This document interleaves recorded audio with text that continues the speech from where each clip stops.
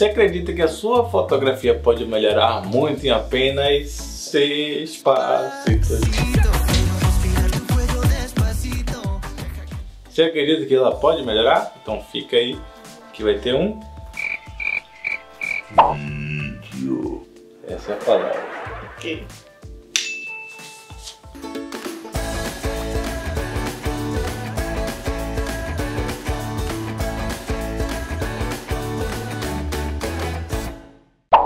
Número 1. Um, descubra o que te inspira. Essa é a parte mais importante do nosso vídeo, pois sem ela a gente não consegue fazer nada. Defina seu estilo. Se é um estilo mais tradicional, se é um estilo mais solto, mais sensível, mais vida louca, enfim, defina o seu estilo. Depois disso, vai o segundo passo. Número 2. Siga os melhores dentro desse estilo que escolheu. Outra dica importante é você criar uma coleção no Instagram. Eu estou me desafiando, né? Eu sempre falo eu, porque eu e ela é ela, né? E somos duas pessoas diferentes. Ou seja, a, nossa, a minha fotografia juntando com a fotografia dela cria uma fotografia só. Criou, cara. Que, né, né? Então, o que acontece? Eu, eu criei uma pasta chamada Desafio. Uma fotografia mais mais loucona. Mais composição meu, sabe? E todo santo dia eu sento, olho, porque a gente cria uma educação visual. Número 3 Identifique o que você precisa melhorar para chegar no nível desejado.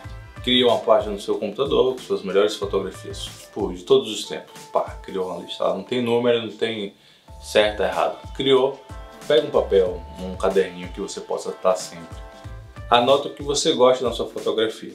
Depois você cria uma do lado o que você gostaria que a sua fotografia tivesse. Isso é bem importante. Eu não foco no que você não, no que você não gosta foca no que você queria, certo? Isso é bem importante. Exemplo, em 2015, eu, eu, minha vida, eu decidi estudar luz natural, porque eu era ruim, parecendo, né? Não sabia fotografar, eu era muito ruim em luz natural. Ponto. Decidi em 2015, estudei papapá até que eu queria virar o rei fiquei da muito. Luz. É, exatamente, eu queria ser o rei da luz, né? Então você vai lá, cria, você cria o que as suas coleções baseadas, um exemplo, luz. Você vai pegar as melhores referências, os melhores fotógrafos de que trabalham com luz. Depois, você vê que você precisa melhorar a composição. Você vai seguir criar um... cara mais top em cara... composição. Exatamente, você vai criar os melhores do e mundo. Existem muitos, então Exatamente. você seleciona e guarda nessa pastinha o quesito composição. É, seja no Instagram, no computador, na parte que você, num lugar que você mais tem acesso. É, ser mais fácil pra você. O Instagram é mais fácil porque é fácil de criar conexão e você tá sempre com ele à mão. Então se você tá no ônibus, no avião, fazendo qualquer coisa, passeando, esperando alguém. No avião, amor. É. Mas se você tá esperando alguém e não tem o que fazer, de vez você ficar rolando o feed do, do, Instagram, você dá uma olhada nessa coleção. Exatamente. E já salva coisas novas. Exatamente. Então criou sua, sua, sua coleção, sua parte, sabe lá o Deus do que, das, das melhores referências. E ver todo santo dia você tem que olhar essa coisas, ter que ver, analisar cada fotografia, tipo, meu, o que que esse cara fez? Como que ele fez? Imagina você dentro da foto, você fala, pô, será que ele foi assim, foi assim? Pá, baixou assim, eu, subiu Jogou a câmera assim, tá, pá, sabe? Saca essa sacada, você tem que se imaginar na foto, analisar tecnicamente mesmo, sentir o feeling do negócio, né? Número 4. Reveja sempre as suas fotografias e quem você segue é muito importante. Você vê a sua fotografia, você selecionar, criou lá, lembra, lembra, estudou pra caramba, você todo dia fotografando, estudando, para pipopopó, pega aí, sei lá, seis meses, três meses, enfim, um período que você fez bastante trabalho, e aí senta e fala assim, meu, vamos ver se eu, se eu, se eu evoluir, vamos ver É aqui. uma boa época fazer isso tipo em dezembro, final é. do ano, então todo fim de ano você senta, pega aquelas fotos que você imprimiu, a lista. Isso para quem faz casamento, né? É, mas pode ser para outros é, trabalhos enfim. também. É porque e... é o período de baixa de, de, de, de, trabalho. E você senta ali e vê as fotos que você imprimiu. Então pode ser que talvez de ano em ano você consiga ver uma evolução a longo prazo. É. Tipo, aí de você, três em três meses. Aí você vê a merda que você tá fazendo no ano todo. Cadê? Tudo. Então você faz uma retrospectiva. É. Daí ali você anota que você já conseguiu alcançar. E, não, você, você olha lá na, na listinha. É, então, lá. dentro dessa assim, lista. Ah, esse aqui eu. Olha, eu era ruim, por exemplo, em dominar a luz, que Felipe deu exemplo. Agora, olha minhas fotos de hoje, depois de um ano, já tô bem melhor, já domino isso. Mas não domino aquela outra técnica. Exato. Flash, por exemplo. É, não sei usar flash. flash. E assim, outra coisa, né?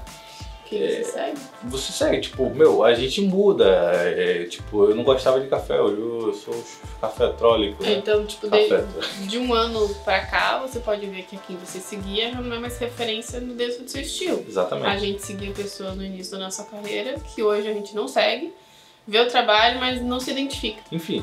Então é, isso pode mudar. As coisas ó, são dinâmicas. É bem comum você gostar de uma coisa, daqui um ano a gente pode estar gostando de outra. É, é que nem nessa edição de cores, o Felipe ele é muito rigoroso.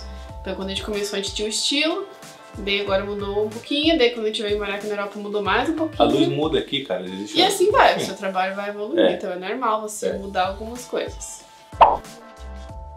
Passito número 5. É 4. É, isso. Passo número 5. Mantenha contato com outros fotógrafos. Fotógrafos, exatamente. Essa é a parte não menos importante, mas é, enfim, é. Enfim, essa é a parte bastante legal porque assim, você vai evoluir muito. Algo que a gente ouviu. Olha lá. Vocês estão ouvindo? A gente foi no Inspiration Photographers aqui. Inspiration Photographers, agradecimento ao Frank Costa e a equipe maravilhosa. E, e acho que foi algo muito importante que o Ken Park falou. Quem? Quem te fala que tem high five. High, high five. Falava assim que é muito importante para ele ter mentor. Eu só vou falar o nome desses caras, os caras do Two Mans do Christmas Studio e um outro lá que eu esqueci o nome. É. Sente só o nível das crianças. Então, assim, ele tem como mentor e como inspiração para ele. Então, você ter contato com fotógrafos que têm um nível alto é. de exigência de fotografia é muito bom porque você se baseia sempre por cima. É. Você é a média das pessoas que você anda. Se você anda com um cara medíocre, meu, tu vai ser medíocre. O trabalho vai diminuindo. É. Se você anda com os caras super blaster que passou aqui da tela, nível hard, você vai ver que você precisa descobrir na sua fotografia e tipo, meu, eu posso ir mais além, né? E para finalizar, o número 6 é o mais importante, pratique, né? E assim, cara, é fotografar F22 no escuro, fotografar com bateria 1% e... Eu acho que tem duas dicas importantes para é... você colocar isso em prática. Número um é você praticar com seus amigos. Então chama aí um casal, uma pessoa, uma amiga e vai fotografar. O Ken Park, ele fotografava muito o cachorro dele. Bem, não tem, não tem cliente. O cachorro dele era o modelo. Fotografa cachorro. o cachorro. Não tem nada a ver com é. humano, mas Pô, ele praticava fotos cachorro, incríveis com o cachorro. cachorro. Véi, pratica. Pratica, pratica, com quem for. A gente começou pratica. assim também no início, com amigos. Outra técnica é veja fotografia em tudo.